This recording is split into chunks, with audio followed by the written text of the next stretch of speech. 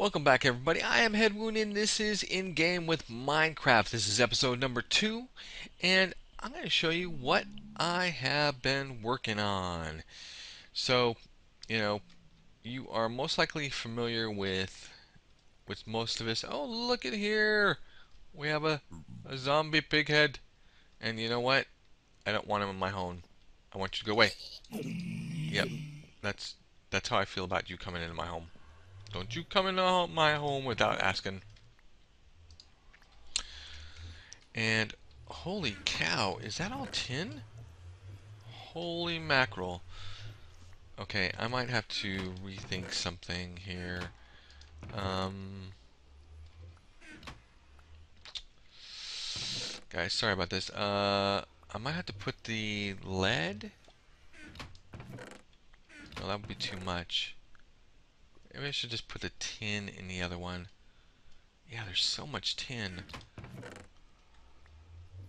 Um, put copper? Yeah, okay, that's what I'm going to do. Okay, well, guys, you're about to... okay, so, before I actually begin, because I do have enough space, I can. it does have enough time to for me to work through this. Okay, so up here... Oh, it's empty! Holy crap, it finally finished, or it's, it's processing. Okay, so what I needed to do, because this thing, when my quarry finished and this thing was absolutely full, completely and apple, absolutely full of, of ores. So I thought, you know what, I don't want to have to click on this, then, you know, pulverize something, then put it in the furnace, and go back and forth and back and forth and yada yada yada yada and it would just been a pain in the ass. So what I did do was I set up a transportation system for the ores. This is a um, a redstone engine. It's being powered by you know redstone torch right there, and that is a wood transport pipe hooked to, uh, let's see, this is stone transport pipe, and it just takes everything nice and leisurely down the way, and we'll put it right into for us here. And I can already see that there's something wrong. Okay, so this is run out of coal. And let me just pick up some more coal and I'll refill these while we're kind of poking around here. Let me do this one too. Get this one all filled up very nicely. And is it starting to process yet? There we go. Okay, and this looks like it's stalled out because, you know, things kind of got stopped. So this is the pulverizer. It takes this, puts it right into the side of the pulverizer. It then gets processed through, and because it's sitting right next to the furnace, it goes ahead and makes the ingot, takes it out, because this is the output of the furnace, takes it down there, takes it actually underground to right Let's see, I believe it's right here. There it is. Okay.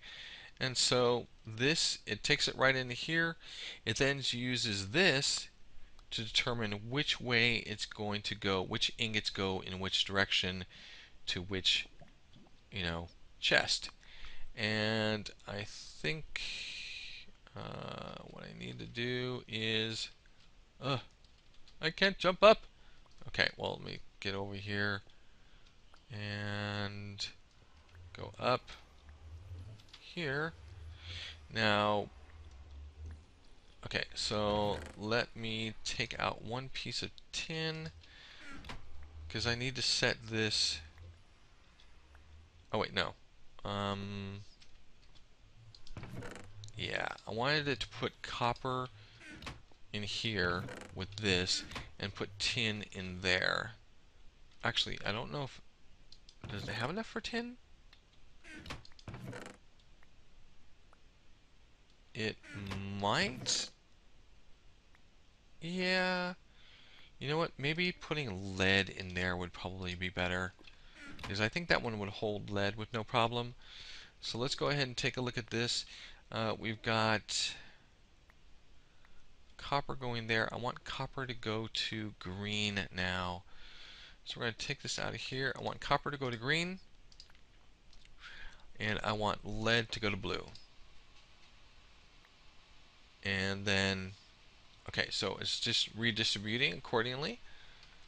So now, go ahead and take all this out of here, throw it in here, and we're going to start seeing this number increase in just a second because I did see a copper piece go in this direction. And where is it? Is it just taking its sweet time? Yeah it's probably taking its sweet time. Well I can see it going around the bend. Yeah they're a little bit slow on a crawl. Okay take that out. Okay I think our first one's coming in any second now. Bueller, Bueller, Bueller. And we've also got, okay, there it is. So it's working just fine. So now lead is going to go into here. So we're going to take all of the lead out of here. Put that guy in there. Put all the lead in there. Beautiful. I'm going to take this out just so I can reorder it real quickly. Uh, let's see. Yeah, this should work. Beautiful. Oh, wait, actually, almost. There we go. Take that out, put it back in, and we're looking great.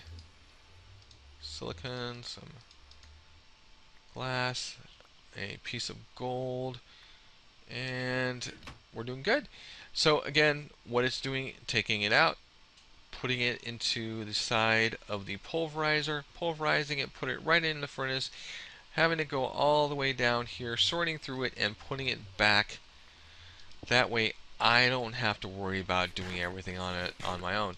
Now, when I left, which was about, you know, six hours ago, this thing was completely and absolutely full and it was because of this wonderful little thing, the chunk loader, it was able to process on the server during that time without me doing anything.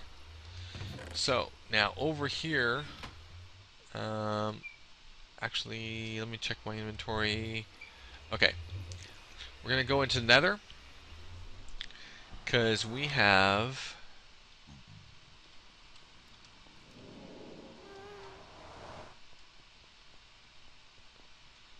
this guy over here. Okay, what you doing over here? Are you just, are you lost? Are you done? Okay, it looks like he actually, here's a, another chunk loader, but I believe, did he go out of range? No, he was still in range. This guy should have kept going when I signed off. Well, I guess for whatever reason it didn't. Um, there's nothing in there. And what this is doing, it's chest with again a wooden piece, redstone pump, and this is a item tesseract. This is actually sending items to the other matching tesseract, which actually happens to be at my home, right, sitting right next to a double chest so that way it can I don't have to come back here to get stuff. It's just gonna send it to it automatically. Now I can see there is a, some items in here that I'm gonna want to take back with me. And I think he's actually finished. He was supposed to do a 15 by 15 I wonder if I can hit him to continue. Um,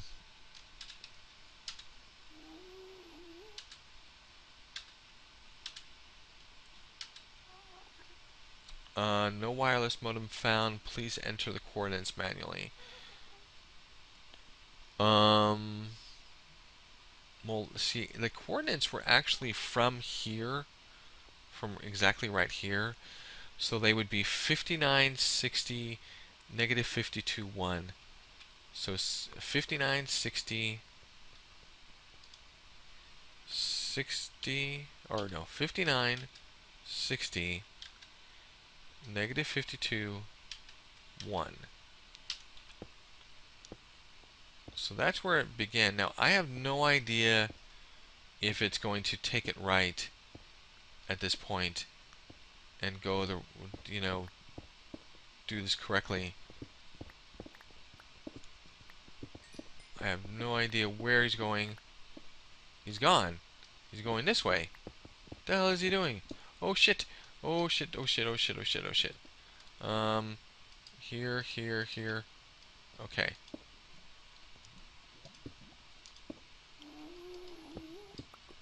Okay. Um, here, here. Okay. Here? Beautiful.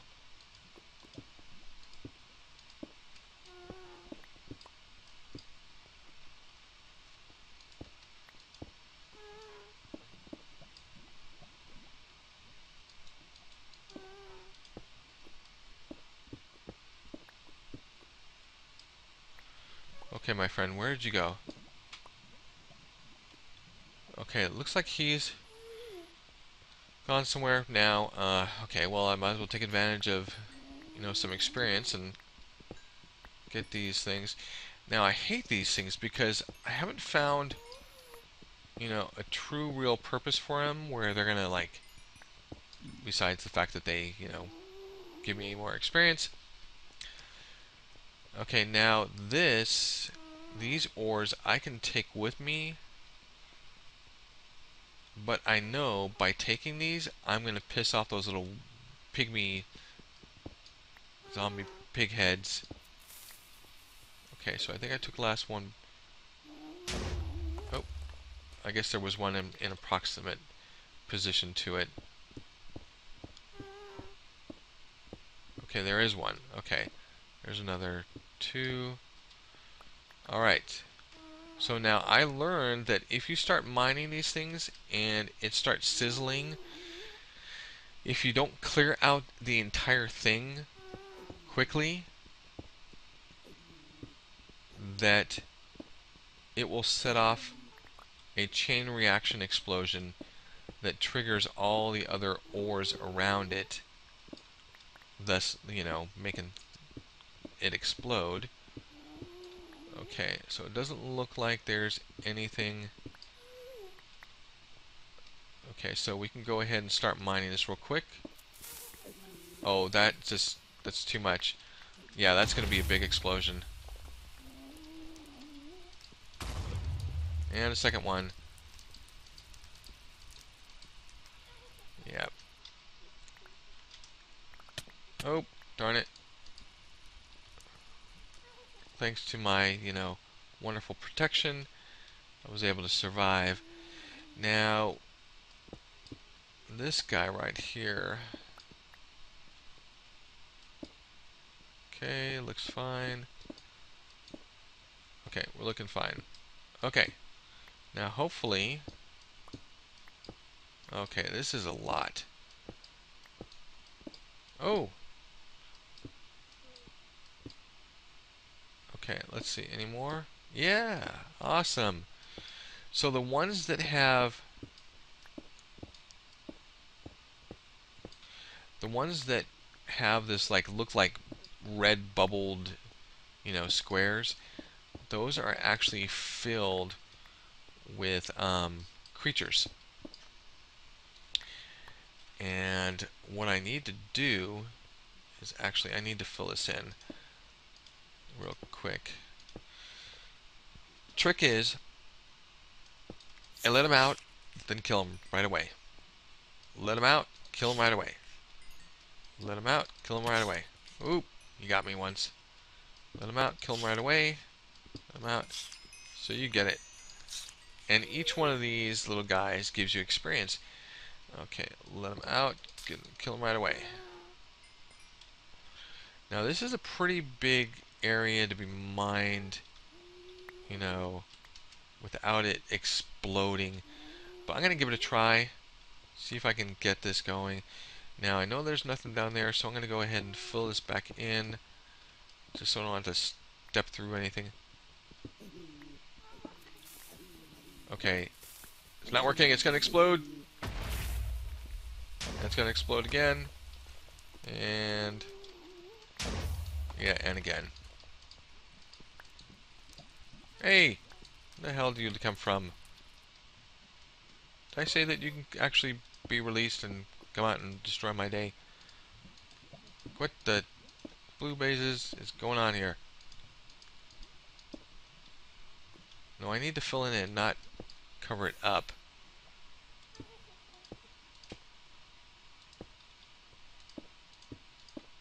There we go.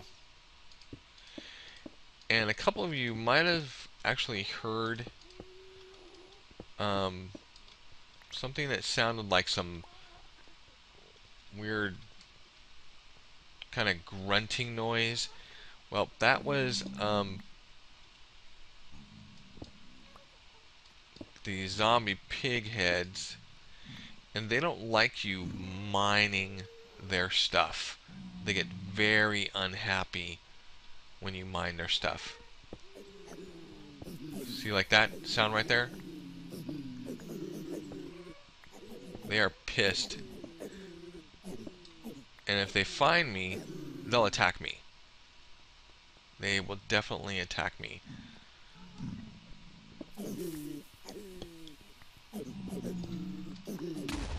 Oh boy.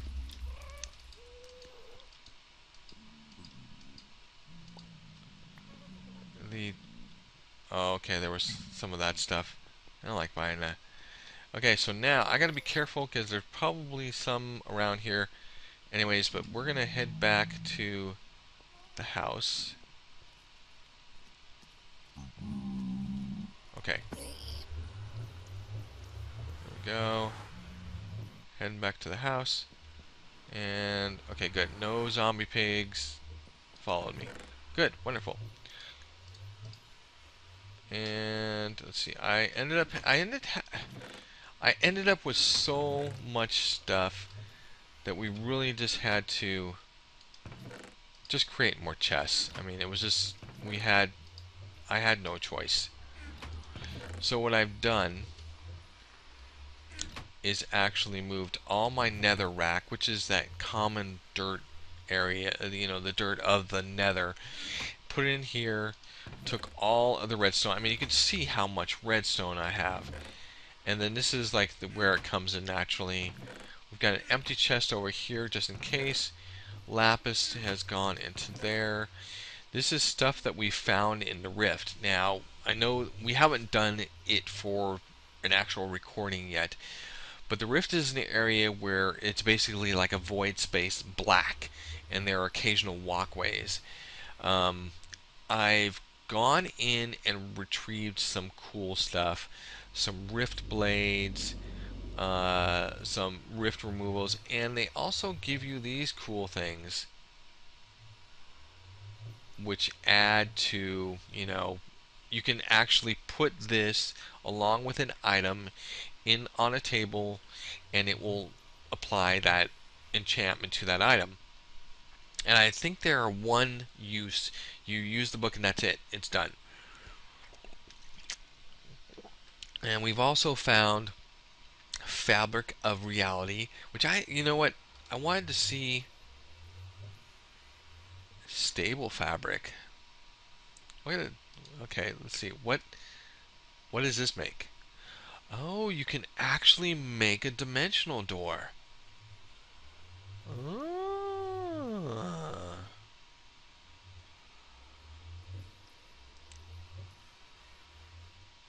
Place anywhere in pocket dimension to approach surface.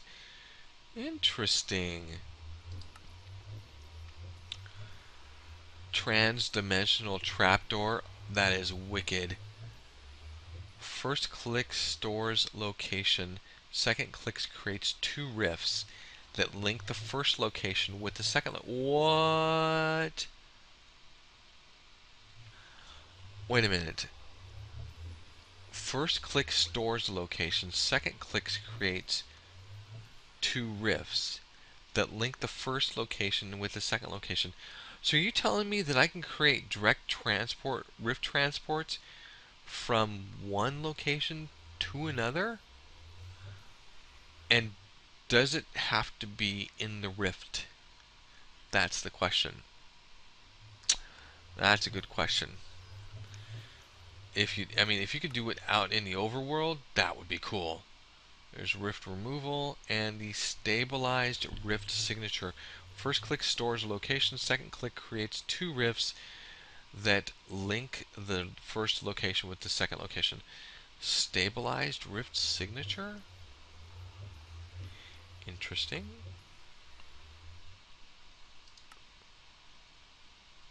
So you need one of these.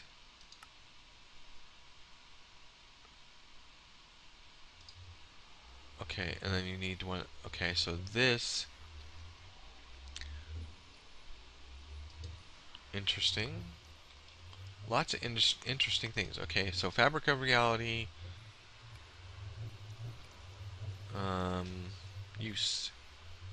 An Ender Pearl and Fabric of Reality creates a stable rift or stable fabric. Okay, so what does unraveled fabric do? Oh, same thing. So, wait a minute. Oh, stable fabric. Stable fabric. So, oh, it's telling me I can use unraveled or fabric of reality. You know, I'm going to try this um, let's grab some of the fabric of reality. And let's see, we want to create a stabilized rift signature. Yeah, we want to create one of these. So first we have to create a rift signature. So we need... Actually, that's pretty easy. I mean, an ender pearl is just, you know, four pieces of iron. Kind of interesting. Okay. Um, but I need four stable fabric, which is created by doing... Wait a minute. Stabled fabric. Did I miss something?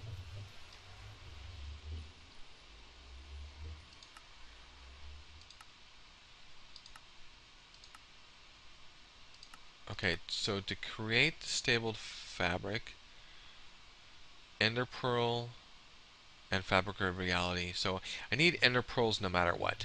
Okay, so let's grab some iron. And I'm going to grab a stack. You know what? I'm not hearing... Did it actually finish everything? Oh, look at that. Just the tiniest number left. Let's just make sure everything's working right. It is... Look at that. I am super happy. Super, super happy that this is working. Polarized lead. Pulverized lead. Okay, well, you know what? I'm going to throw these in. Oops. Doggone it. I seem to keep doing that. Although, you know what? For some reason... Oh, you know what's going on? I didn't even realize that. Oh... It's actually exporting downward into a standard furnace. Son of a bitch. I didn't know it could do that. And I guess it could only do it in the top, which totally makes sense totally, totally makes sense. And I've got it. Darn it. I've got a furnace hiding back there, but I can't use. Anyway, let's go ahead and throw this in there. Wow, I totally didn't realize it. That's why I have to... Anyways, I digress. Okay, so put pulverized lead in there, whatever. Alright, so, um, oh, the minium stone. Gotta do this real quick. Put the minium stone in here. And we can grab maybe about, I, use a lot of these, so I'm going to grab eight. You know what? Screw it. 16. Because I think we actually use some... Oh, and you probably you guys probably saw this. That's from the Rift. There are traps in the Rift which I, you know, if you know where they are, you can sabotage them and then steal the TNT.